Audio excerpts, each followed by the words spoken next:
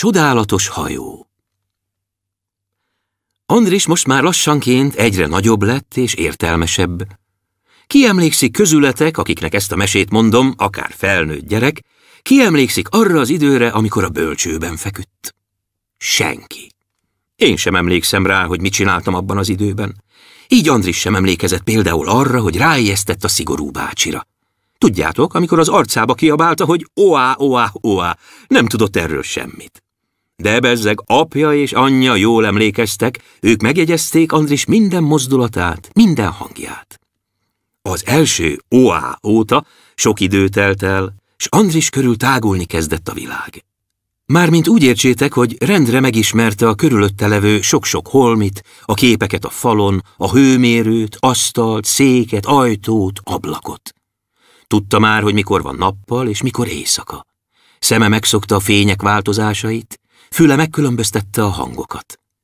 Megtanulta Andris, hogy aki olyan sokat van körülötte, langyos vízzel fürdeti, meleg ruhába takarja, enni ad neki, azt úgy kell szólítani, hogy anyja.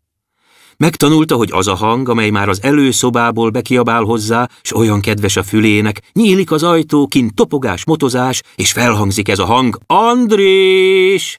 Ez az apja. Jól látta már Andris, hogy ő ehhez a két emberhez tartozik. Ezek szeretik őt, ő is szereti őket, mindennél és mindenkinél jobban a világon. Jobban az asztalnál, ágynál, képeknél és hőmérőnél, mindennél. Tudjátok, hogy mikor Andris ott feküdt a bölcsőben, még nem is tudott járni. Hát Andris persze megtanult járni, meg szaladni. Most már, ha apja hangját hallotta, futott Andris az előszoba üvegajtajához, oda nyomta az orrát, úgy várta apját. Beszélni sem tudott még Andris, amikor ott feküdt a bölcsőben, emlékeztek. Lassanként megtanult beszélni is. Előbb csak annyit, hogy anyja, apja, aztán már rohamosan tudott egyre többet és többet. Ez minnyájatokkal így volt, kérdezzétek csak meg a ti anyukátoktól és apukátoktól. Így aztán nem csoda, hogy nem emlékezett Andris a két kis törpére sem, kökölyszire és bobolyszára. Holott azok itt jártak a lakásban, még mielőtt ő megérkezett volna a világba. Ott lovagoltak alá-fel, inci-finci paripáikon, a pejkón, meg a villámon, már a bölcsője körül is. De persze Andris nem tudott róla. Nem lehetetlen, hogy a ti bölcsőtök körül is voltak ilyen kis törpék, sőt, szinte egészen bizonyos, hogy voltak. De amint nem emlékeztek arra, mikor először sírtatok, oá, oá, oá, és nem emlékeztek arra sem, mikor először lábra álltatok és futkározni kezdtetek, úgy nem emlékeztek erre sem.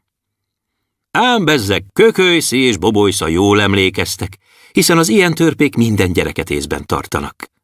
És most, hogy Andris már ilyen nagy fiú lett, most jónak látták, hogy ismét megjelenjenek előtte és bemutatkozzanak. Jól tudták, hogy Andris mostantól emlékezni fog rájuk.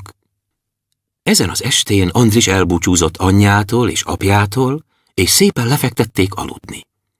Már régen nem a bölcsőben aludt anyja mellett, hiszen ma holnap már óvodába jár, hanem kiságyában aludt a másik szobában.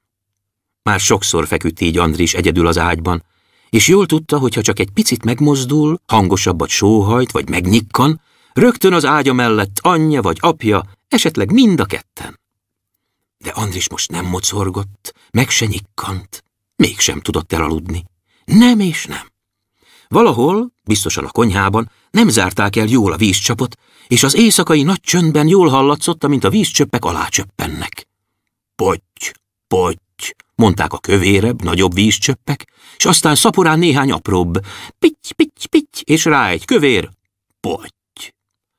Andris hallgatta a víz pityegését, potyogását, behúnyta a szemét, és akkor, mintha itt csöppennének az ágy előtt vagy a feje fölött, úgy érezte, kinyitotta a szemét, belemeresztette a sötétségbe, aztán odanézett az ajtónyílásra. Nyitva szokták hagyni az ajtót este mindig, s a résen bejött egy kis fény, és végigosont egészen a dívány sarkáig, ahol egy cintányéros mackó ült. Az ajtó nyílásában sokszor megszokott jelenni egy-egy pillanatra anyja vagy apja. Benéztek hozzá, s elmentek lábújhegyen. Nézte Andris ezt a kis fénycsíkot, hallhatta, mint anyja és apja suttognak odakint. Aztán kialudt ez a fénycsík is. lefeküdtek aludni. Csak a vízcsöppek voltak még ébren Andrison kívül. Potty, potty, így a kövérek, és a kicsik, pitty, pitty. A csend egyre vastagabb lett, s Andris, amint párnájára szorította a fejét, hallotta a párna zizegését. Ismeritek ezt a hangot? Szeretett volna anyjáért kiabálni Andris, és nem jött ki hang a torkán. Máskor is kiabált panaszosan, Anyja! Anyja! És akkor fény odabent a másik szobában, egy pillanat múlva nyílt az ajtó, és föléje hajolt az a kedves, jól ismert arc. Ssss, aludj csak, aludj! De most nem kiabált Andris. Valami összeszorította a torkát.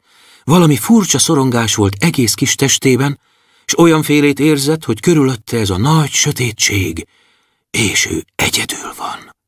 Csak a víz a konyhában, pitty, potty, pitty, potty, és erősen lehúnyta a szemét, szorította, szorította. Nagy piros karika jelent meg erre a szeme mögött, s rá mindjárt egy sárga, és összefutottak a karikák, kéken, zölden, sárgán, pirosan omlottak egymásba. Forogtak, forogtak a színes karikák, gomolyogtak.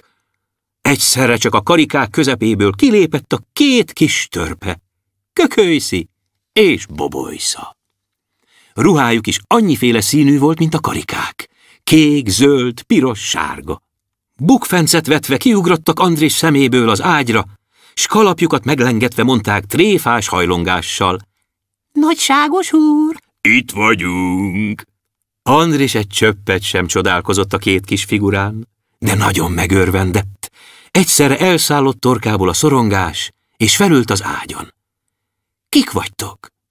Én Kökölyszi vagyok, mondta Kökölyszi vékonyan. A te barátod, itt a kezem. S kezet nyújtott. Én Bobolysza vagyok, szintén a barátod, mondta Bobolysza vastagon. Itt a kezem, nem disznóláb. És Andris kezet fogott a két törpével. Szervusztok! Olyan érzéssel szorongatta pirinkó kezüket, mintha régen-régen már találkoztak volna. Mi tudjuk, hogy találkoztak is. Szervusz! mondta Kököly szívékonyan. Szervusz! mondta Boboly vastagon. Kétfelől arcon csókolták Andrist, és csodák csodája nem kellett se felmásszanak az arcához, se ő nem vette a tenyerébe őket, úgy ültek ott az ágyon, mintha egyformák lennének hárman. Azt hittem, mondta Andris panaszkodva, hogy egyedül vagyok itt. Dehogy, szólt Kökőszi. Sose vagy egyedül. Bobolysza utána tette. Mi mindig itt vagyunk körülötted. Igaz, néha elutazunk nagyon messzire, de mire annyit mondanál, hogy muk, már vissza is tudunk jönni. Majd, ha jobban megismersz bennünket, ezt mind megtudod. Na, most gyere, komám! Hová? Psst! s csöndet intett kökőszi. Hallod? Pitty-potty a víz. Hallom. Hát gyere, elviszünk a hajónkra. Hajótok is van? Van ám, mondta kökőszi. De még micsoda hajó? tódította Bobolysza, és kézen fogta Andrist. És halljatok ilyen csodát, lépni se kellett Andrisnak, már lent volt az ágyról, ki az ajtórésen át az előszoba ajtó üvegjén, úgy suhantak hárman, elől kökölyszi, közből Andris, hátul Bobolysza. Kézen fogva lebegtek át a levegőn, falon, kulcsjukon, üvegen, s ott álltak a konyhában. Pitty, potty, pitty, potty, csöpögött a víz a csapból, és furcsa fények borítottak el mindent. S ott állt a hajó. Képzeljétek csak, a kökölyszi és bobolysza hajója. Csuda finom, tündökletes kis papírhajó. Sejem a vitorlája, merő, hófehér sejem, zöld lámpa az orrán, piros lámpa a hátulján, aranyos zászló a zászlórúdon, s oldalán csupa kis apró csillagokból kirakva a neve Szent Kristóf. Így hívják ezt a hajót, jól jegyezzétek meg. Gyerünk, Andris! kiáltotta kökölyszi, s bobolysz reá. Gyerünk, Andris, meg sem állunk a vizek forrásáig. Onnan meg a tengerre! tódította kökölyszi, s már ott ültek a hajóban. Andris moccanni sem mert, szinte megdermett a gyönyörűségtől. Akkor jött meg a hangja, mikor kökölyszi sípjába fújt, és a Szent Kristóf elindult. Pillanat alatt eltűnt a vízvezeték csövében. Sötét vizeken úszott egy kis ideig, de nem félt Andris egy csöppet se, mellette két jó barátja, Kökölyszi és Bobojsza, aztán egy nagy folyón úsztak dúzzadó vitorlákkal felfelé. A parton jobbra, balra nagy hegyek és alvó városok maradtak el mögöttük. A folyó egyre kisebb lett, apró falvak következtek már a parton, aztán azok is elmaradtak, csak egy-egy házikó volt már itt, és rengeteg erdő azután. A házakban emberek aludtak, a mezőkön füvek és virágok, az erdőkben fák, a fákon madarak, smókusok a fészkükben. Egy kis tisztáson őzek, s kökőszi mutogatta őket Andrisnak. Nézd, mennyi minden! Látod? Ez mind testvéred neked? Mind-mind! Föntről, a csillagokon is túlról parancsolnak nekik, éppen úgy, mint neked. Nézd, amott! Ott a nagy fa alatt! Tündérek táncolnak! Csak úgy röpült a hajó a három jó baráttal. Valahol a hegyek között egy kis tó partján ki is kötöttek. Arra jött a mókusok éjjeli baktere, olyan rendőrféle ez az erdőben, attól kértek egy mogyorót, s ettek belőle jó ízűen. Ami megmaradt, azt becipelték a hajóra. Ittak rá a tóból, és mikor Andris a víz fölé hajolt, akkor látta, uram, fia, éppen olyan tarka-barka törperuhája van neki is, mint kökölyszínek és bobolyszának. Rohant aztán a drága kis papírhajó ismét patakokon, nagy folyókon és végtelen tengereken. Halak bámészkodtak rájuk. Volt olyan hal, amelyik röpködött a víz fölött, volt, amelyik világított az orrán át, és volt olyan is, hogy tűzpiros farka hosszan úszott utána. A törpék mind ismerték a halakat, épp úgy, mint a mókusokat. Összenevettek a hajóba csapódó vízcsöppekkel, oda kurjongattak a szigetek szikláinak, köveknek és fáknak, füveknek köszöntek illendően, s Andris velük nevetett, kurjongatott és köszöngetett. Amint meglátta ezt a két törpe, egymásra kacsintottak. Felkapták Andrist örömükben ott a hajóban, felkapták, s meglóbálták a friss szélben, felmutatták a csillagoknak, azok meg lenevettek rájuk. Ha-ho! kiabálta kökőszi a csillagoknak. Ez a barátunk azt hitte, hogy ő egyedül van itt, mert a papája meg a mamája kimentek a szobából. Ho-ha-hé! kiabálta. Nem tudta, hogy ti is éltek. Persze, hogy élünk, kiabálták vissza a csillagok. Élünk minnyájan, és élnek a vizek, a füvek, a fák, él a levegő, élnek a kövek, minden él ezen a világon! Hopla! Lecsüccsentették Andrist a törpék. Hát hallod? Hallom! kiabálta Andris boldogan. Hát akkor most sietve hazafelé! S fordította a hajó kormányát Boboysza. Szélsebesen rohantak végig a tengeren, folyókon, patakokon, egyszerre csak ott voltak a házukban, és zökkenve megállott a Szent Kristóf a vízvezeték peremén. Már jócskán derengett a hajnal, a nap már felkelt és éppen mosdott, törülközött fent az égen, mikor Andris és két cimborája elváltak nagy ölelkezéssel. Eljöztök máskor is, ugye? Elám, mondta vékonyan kökőszi.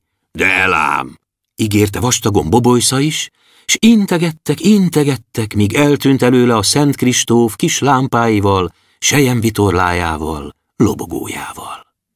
Ott állottak kökölyszi és bobolysza a hajó orrában, zsebkendőjüket lobogtatták. A viszontlátásra! A viszontlátásra! Andris meg egyszerre csak ott feküdt az ágyban. Még messziről hallotta a víz csöpögését. Pitty-potty, pitty-potty, és a törpék énekét, amin dalolták nagy vidáman, a felkelő nap elé vágtatva.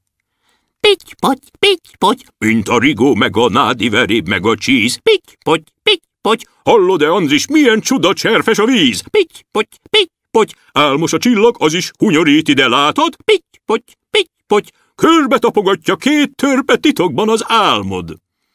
Pitty-potty, milyen vidáman csöpög a víz a csapból odakint. Reggel van, süt a nap, anyja bejön, magához öleli Andrist az ágyból, apja bejön, szappanos az arca, borotválkozik. Na, fiatal úr, ki segít nekem? Egyedül borotválkozzak? Mert Andris már olyan ügyes, hogy ott lehet, amikor apja borotválkozik. Ő adogatja kezébe az ecsetet, szappant, törülközőt. Apja azt mondja, hogy így könnyebb. Ugrik Andris, segíteni kell, apja borotválkozik. Csorog a víz a csapból, pitty-potty, pitty-potty, és délben elmondja anyja apjának, hogy ez az Andris egész nap dúdol, figyel csak! Hát Andris csak ugyan totyog ide-oda, s dünnyög, nótázik. Na hát! Kitől tanultad ezt? kérdi apja. Mire Andris komolyan. Két kis törpétől. És nevetnek, s csóválják a fejüket, mert ők már nagyok, és a nagyok szeretik csóválni a fejüket.